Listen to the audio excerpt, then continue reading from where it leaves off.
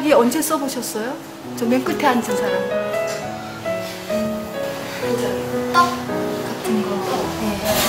네. 애 입원했을 때 이불 보따리 싸울 때 유용하게 했었어요. 그 계절 지나고 같은 거.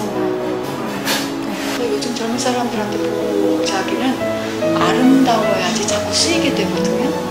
그래서 이 보자기 활용은 실용적으로 아름답게 실용화할 것. 그래서 첫 번째 케이스로 하는 게 항상 티슈 싸는 건데요. 오늘 주제는 가을 산이에요.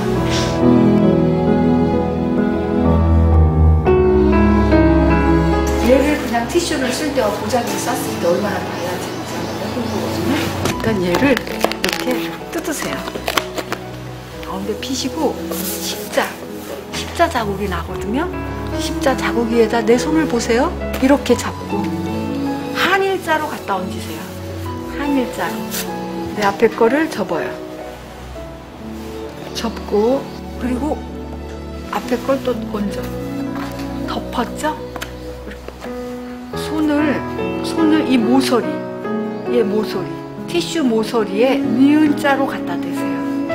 그리고 얘를 여자들 거들 입은 것처럼 이렇게 당겨 올려요. 고무줄 하나를 가지고 얘를 감아. 세 번 정도 감아주세요.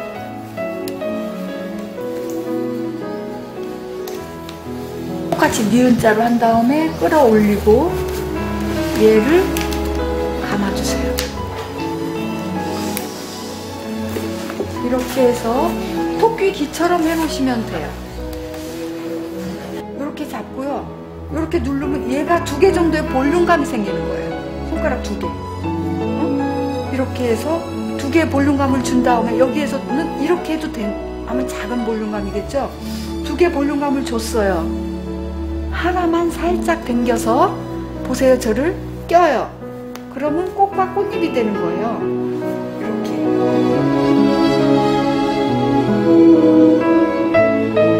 그쵸? 이렇게 뒤집어서 입술. 입술이요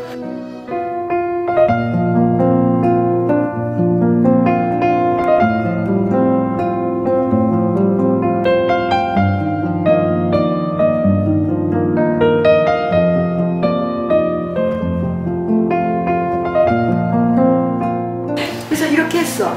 이거를 두 개를 묶어. 이해되셨죠? 그럼 핸드백이 됐어. 너무 쉽죠?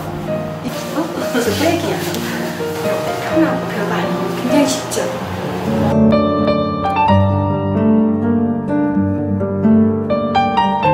이게 이제 쇼파에서 쓰는 거예요. 지금 쓰는 게. 이걸 잡고 여기를 이렇게 해서 하나를 들었어요. 한쪽 귀에 대고 누르고 있어.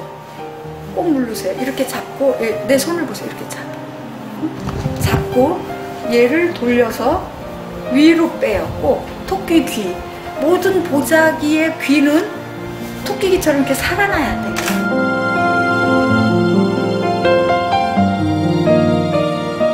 이 백- 백을 매도 좋고 외국 가면 더 멋져. 팔에다 끼면 근사해. 팔에다 끄면 이렇게 있어.